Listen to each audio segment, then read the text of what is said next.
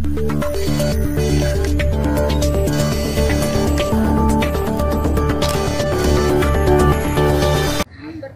saat ini saya berada di RT 09 RW 01 Kelurahan Lasiana di mana saat ini sedang akan berlangsung pembagian sembako bagi mahasiswa terdampak COVID di Kelurahan Lasiana yang kos-kosan di Kelurahan dan saat ini eh, sudah bersama kami Sekretaris DPW PKB NTT Dr. Rangga Selamat datang kepada uh, Alosius Maloladi Ewal dan Ibu sebagai anggota DPR Kota Kupang dan juga saya ucapkan selamat datang kepada kakak Alosius Maloladi, Wakil Ketua DPR, DPRD Provinsi Nusa Tenggara Timur dan bersama rekan-rekan yang berkesempatan hadir dengan kakak Alosius.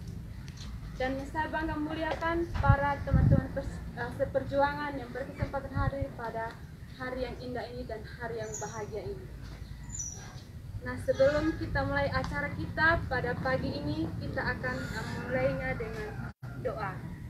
Ya, yang bertugas saya persilahkan. Bapak Ibu dan kawan-kawan semua sebelum mulai kegiatan kita, mari kita terlebih dahulu berdoa. Untuk itu izinkanlah saya membawa doa ini sesuai keyakinan saya, Kristen Protestan. Kita berdoa. Syukur kepada Tuhan karena kita kasih yang sangat luar biasa yang berikan kami Tuhan menyertai kami dari hari ke hari hingga pada hari Yesus dan masih memberikan kami kesehatan untuk bisa berkumpul pada tempat ini dan penuh sukacita dan damai sejahtera Tuhan Karena dalam surga kami akan memulai segala rangkaian kegiatan kami kami Roh Kudus Tuhan selalu menyertai kami dan memberkati kami dari awal hingga pada akhir memberkati kami selanjutnya. Tuhan Yesus Amin. Terima kasih. Baik, yang terhormat Ibu Ewal Datai sebagai anggota DPR DPRD Kota Kupang, yang terhormat Kakak Alusis Maloradi Wakil Ketua DPRD Provinsi Nusa Tenggara Timur dan bersama rekan-rekan dan saya dan saya bangga muliakan teman-teman seperjuangan sekalian. Selanjutnya kita akan masuk pada kata sambutan. Karena kegiatan kita tidak akan lama jadi kita langsung saja. Kita masuk pada kata sambutan yang pertama. Saya persilakan Ibu Imelda Tai waktu dan kesempatan.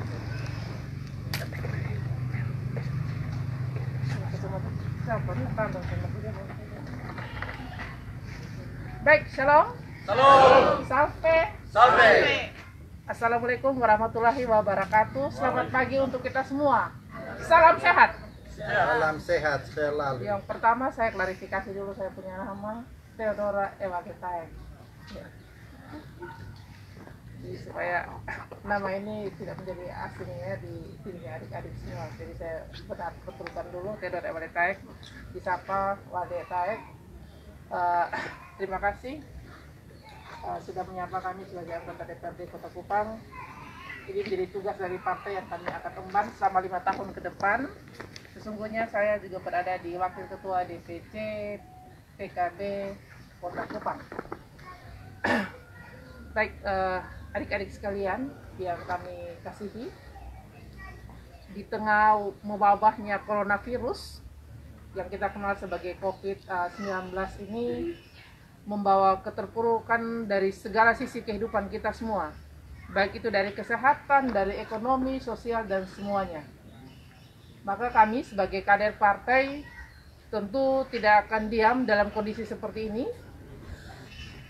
Dan kami juga sebagai kader partai tentu tidak akan uh, berada di tengah masyarakat hanya karena kepentingan untuk mencari suara pada saat pemilu legislatif atau pada saat pilkada. Kami menyadari betul bahwa kader partai harus terus berada di masyarakat, mendengarkan suara masyarakat, dan juga merasakan rintihan hati masyarakat. Maka untuk itu, pagi ini kami bersama dengan Bapak Alusius Maloladi sebagai Wakil Ketua DPR Provinsi Nusa Tenggara Timur uh, menyambangi adik-adik semua untuk membawakan bingkisan bingkisan kasih dari Ketua Umum DPP PKB Bapak Abdul Muhaimin Iskandar dalam bentuk sembako PKB Peduli yang akan kami bagikan.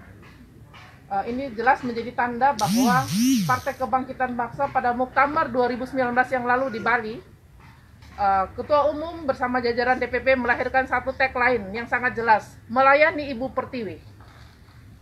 Nah, tagline melayani Ibu Pertiwi ini tidak hanya sekedar slogan semata, tetapi kami sebagai kader Partai Kebangkitan Bangsa membuktikan itu betul pada hari ini bahwa kami turut hadir bersama masyarakat untuk merasakan penderitaan yang dialami.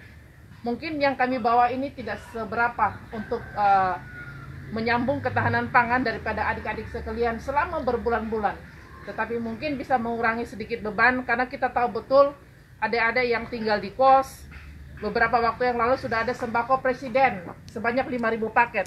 Tapi kita tahu bahwa untuk jumlah mahasiswa di Kota Kupang jumlahnya lebih daripada 5.000. Maka mungkin ada sembako presiden itu tidak tersasar sampai ke kelompok ini. Maka kami juga hadir sebagai eh, kader partai untuk eh, melihat yang tercecer, yang belum terakomodir oleh bantuan pemerintah.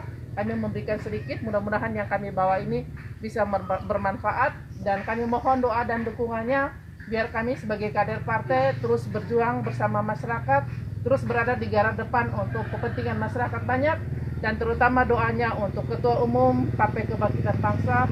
Semoga sehat selalu dan kami tetap semangat untuk melayani Ibu Pertiwi. Mungkin ini yang saya sampaikan. Sekian dan terima kasih. Baik, kita berikan aplaus yang meriah lagi. Baik, Terima kasih Ibu. Sambutan yang kedua kepada Kakak Aloysius Malo, waktu dan tempat kami persilakan. Jangan lupa sama di belakang. Alusis malu nanti. Pak, Baik, terima kasih. Saya agak berdiri dekat adik-adik saja di sini. Ya. Salam. Salam. Salve. Assalamualaikum warahmatullahi wabarakatuh. Salam sehat. Adik-adik sekalian yang saya cintai, yang saya banggakan, yang saya muliakan. Sahabat-sahabat dari media yang saat ini hadir, rekan-rekan tim yang dari kantor yang sama-sama juga berkesempatan hadir. Pertama, saya ucapkan banyak-banyak terima kasih, puji Tuhan, hari ini kita bisa bertemu. Saya ini sudah yang nama Aloysius Maloladi atau Alo Maloladi. Saya sedikit bercerita, tetapi mudah-mudahan tidak sampai dengan 10 menit. Ya, orang tua saya, mama dari Kupang, Rote, bapak saya dari Sumba SBD Lurah. Tapi lahir besar di Kupang.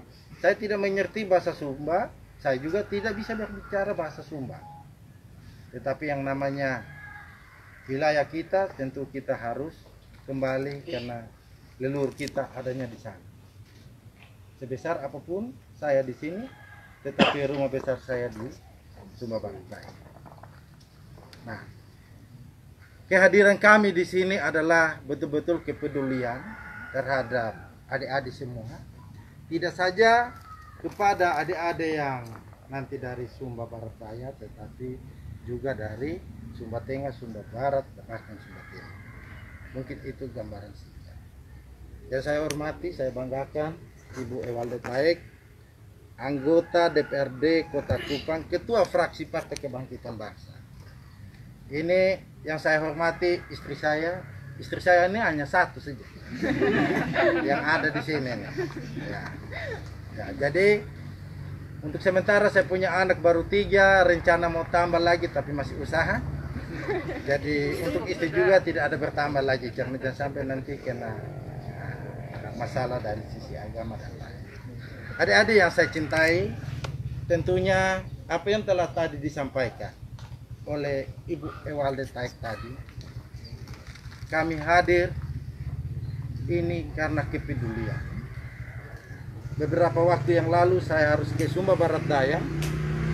Dan kebetulan saat itu reses saya membagi sembako yang sama kepada saudara-saudara kita baik yang di Jawa Tengah, Kanelu, Tanggaba, Wepatando, terus Limbuatu dan segala macam termasuk Jawa Timur, Jawa Barat, Jawa Selatan, Lura dan Kudi belum tersentuh.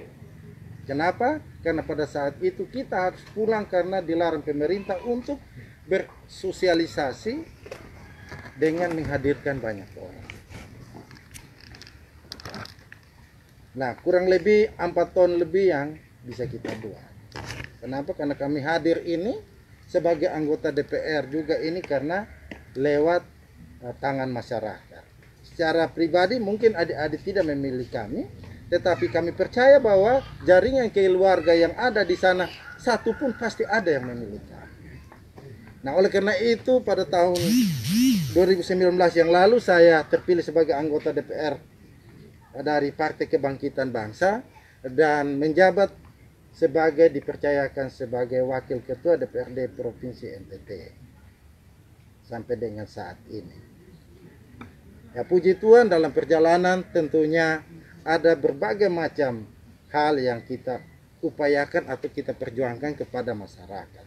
Tidak hanya dalam kapasitas kita orang Sumba, tetapi untuk orang NTT khususnya yang ada di 22 kabupaten satu kota Madia Kupang. Terlepas daripada itu tentunya banyak bantuan pemerintah juga yang disalurkan kepada masyarakat. Ada PKH, ada BLT, dan sebagainya.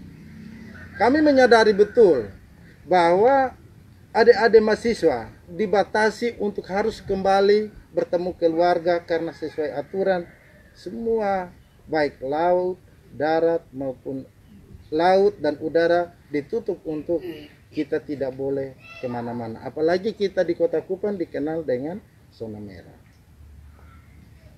Adik-adik sekalian, tentunya apa yang ada ini, sembako yang ada ini adalah sumbangan dari Ketua Umum DPP PKB. Kami menambahkan, saya menambahkan lagi supaya bisa banyak untuk bisa dibagi. Besok atau lusa kami akan bagi untuk wilayah Sumba Timur, Sumba Tengah kurang lebih 88 ton. Total semua itu hampir 20 ton untuk empat kabupaten. Sumba Timur, Sumba Barat, Sumba Tengah, dan Sumba Barat Daya. Total sembako yang dikirim dari DPP itu kurang lebih 10.000 paket. Yang harus didistribusikan ke semua kabupaten yang ada di Nusa Tenggara Timur. Kami uh, memberikan ini pelayanan atau perhatian ini semata-mata karena kami merasa bahwa saat pandemi Covid seperti ini banyak keluarga yang kena dampak secara langsung maupun secara tidak langsung dalam hal perekonomian. Seperti apa yang kami bawa atau yang disumbangkan ini tentunya tidak memadai. Banyak juga keluarga yang yang tidak tersentuh, kami mohon maaf. Ini sebagai langkah awal tentu masih ada tahap-tahap berikut. Kita doa bersama bahwa ke depan pasti ada hal-hal yang mungkin akan kita lakukan secara bersama baik terhadap adik-adik maupun terhadap masyarakat ataupun keluarga yang lain. Adik-adik yang saya hormati, tentunya kami tidak uh, lama sebentar. Saya hanya menyampaikan beberapa hal. Hasil rapat koordinasi baik dengan Pak Gubernur dan Forkopimda Provinsi Nusa Tenggara Timur yang melibatkan dialog virtual dengan semua kabupaten CNTT memutuskan bahwa tanggal 15 kita kembali hidup normal. Artinya kita keluar untuk melakukan yang namanya aktivitas.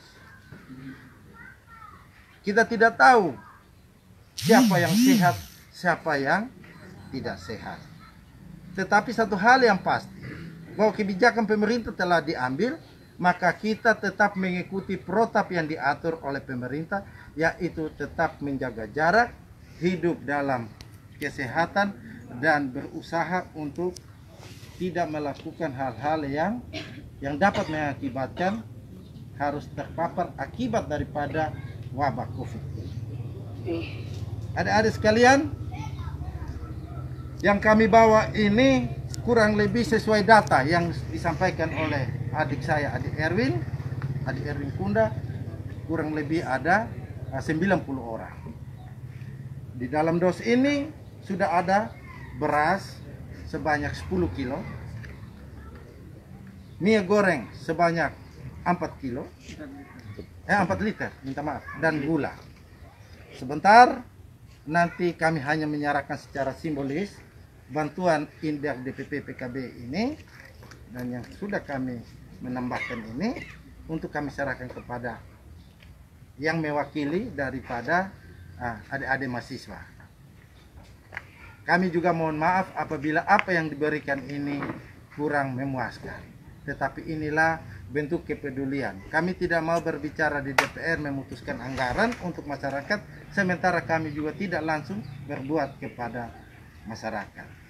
Oleh karena itu, dengan kerendahan hati kami mohon maaf, terima kasih atas kepedulian juga adik-adik di dalam uh, menerima bantuan ini. Kami juga mengucapkan banyak terima kasih kepada Tuan Kos, Bapak RT yang merelakan kami untuk bisa melakukan uh, pembagian sembako di wilayah ini. Mungkin ini beberapa hal yang dapat saya sampaikan. Sekali lagi, saya ucapkan terima kasih banyak kepada Ketua Umum DPP PKB, Gus Muhaimin Iskandar. Semoga bantuan ini bisa menjadi berkat bagi sesama dan paling kurang kami hanya bisa mendoakan semoga ke depan perhatian yang sama baik dari DPP, baik dari fraksi Partai Kebangkitan Bangsa, baik dari anggota-anggota dewan yang ada di kota dan kader-kader PKB untuk bisa melayani sesama. Mungkin ini saja yang bisa saya sampaikan dan sebentar setelah kami penyerahan secara simbolis mungkin kami harus bergerak untuk kembali untuk bisa melakukan yang seperti ini untuk keluarga Sumba Barat, Sumba Tengah dan Sumba Timur. Mohon maaf apabila ada keluarga SPD yang tidak tersentuh. Mohon maaf. Tetapi kami hanya dapat tahu seperti ini. Mudah-mudahan dalam kembali nanti kita saling berkoordinasi. Lalu yang terakhir, adik-adik semua, adik-adik mahasiswa, tentu semua ini kita belum ada nomor HP. Nomor HP saya kalau mau catat bisa, kalau tidak juga tidak apa-apa. Mungkin suatu saat ada bisa kita bisa berkomunikasi, lalu ada hal-hal apa yang bisa kita saling bertukar pikiran bisa kita kita berbagi. Nomor HP saya 081 337 081 337 437 438. Lalu di sini ada ibu anggota dewan ini. Ibu Awel Ewal Letai. Dapilnya juga dapil sini, Pak. Dapil sini sampai dengan di Kota Lama. Saya sengaja bawa supaya tanda-tanda memang muka. Jika ada persoalan yang ditemukan atau ada hal-hal konsultasi bisa menyampaikan oleh di Ibu Ewal Letai. Mungkin ini saja yang bisa saya sampaikan. Ada kata yang tidak berkenan. Sekali lagi saya ucapkan permohonan maaf. Salam. Salam. Terima kasih banyak. Selamat pagi. Ya, demikian sambutan dari Sekretaris DPW PKB Bapak Alekes Maloladis sekaligus menjabat sebagai Wakil Ketua DPRD Provinsi NTT. dari teman-teman sekalian yang bertugas atas ini.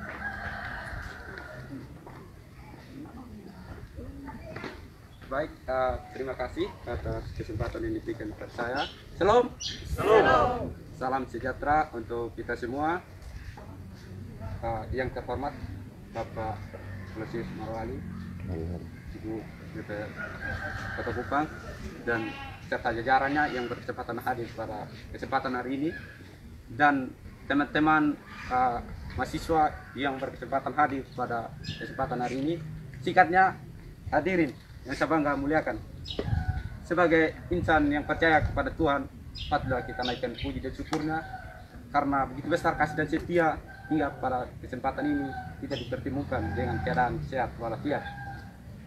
Pada kesempatan ini uh, mungkin tidak terlalu banyak kata yang saya sampaikan. Selain ucapan terima kasih kepada Bapak Ibu uh, dari Partai PKB yang sudah merelakan diri, yang sudah uh, mengikhlaskan bantuannya kepada kami yang masih ada di Kota Kupang uh, hingga pada kesempatan ini boleh kami rasakan dalam kehidupan di Kota Kupang ini. Nah, pada kesempatan ini juga mungkin yang perlu saya sampaikan lagi uh, telah disampaikan oleh Bapak dan Ibu tadi bahwa pada ranah sekarang kita di bawah ancaman dengan COVID-19 itu berbagai macam dinamika kehidupan yang terjadi. Dan kalau saya tidak salah dengar dan memang uh, disampaikan oleh pemerintah provinsi bahwa tanggal 15 April eh tanggal 15 Juni kita sudah uh, memulai aktivitas seperti semula seperti uh, sebelum dengan keadaan COVID-19 ini.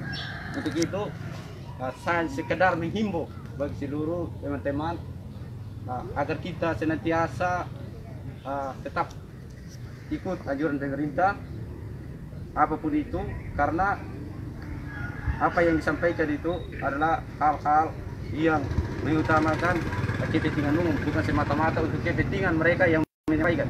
Mungkin pada kesempatan ini Bapak dan Ibu tidak ada yang saya sampaikan dan kata yang banyak. Selain tanda terima kasih kami mewakili seluruh mahasiswa yang hadir pada kesempatan ini pada kesempatan ini juga mungkin ada kata saya yang terlanjur yang tidak berkenan di hadapan Bapak Ibu dan teman-teman semua. Mohon dimaafkan karena kita tahu bersama kesempurnaan hanya milik yang maha kuasa. Mungkin sekian kembali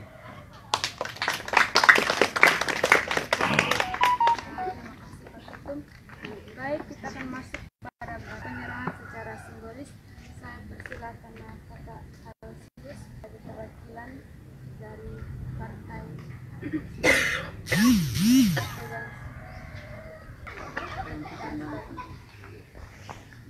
sebagai perwakilan nah, Terus saya persilakan dari perwakilan mahasiswa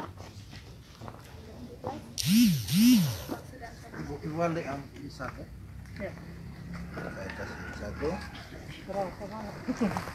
pakai masker Sebentar. pakai masker pakai masker ambil gambarnya Ibu, ibu nah, satu itu hal kasih di situ saya kasih di L. kakak satu-satu saya potong foto satu-satu kakak Iya, iya. Satu dua tiga sekretaris DPW Adik Erwin, PKB. ini adalah bantuan kepedulian dari kami sebagai uh, salah satu anggota DPRD Provinsi dari Partai Kebangkitan Bangsa dan bantuan ini dari Ketua Umum kami Muhammad Iskandar. Semoga bantuan ini dapat bermanfaat. Jangan dilihat daripada jumlahnya, tetapi lihatlah karena kepedulian karena sebagai uh, sesama. Terima kasih banyak.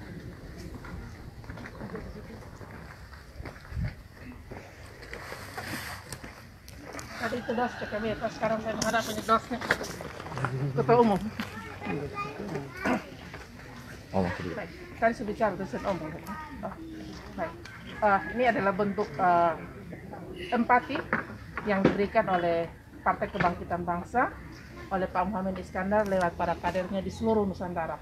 Salah satunya adalah Kota Kupang dan mudah-mudahan ini bisa mengurangi beban uh, semasa COVID ini, terutama untuk ketahanan pangan dalam diri kita dan juga keluarga kita. Terima kasih, salam sehat, Tuhan.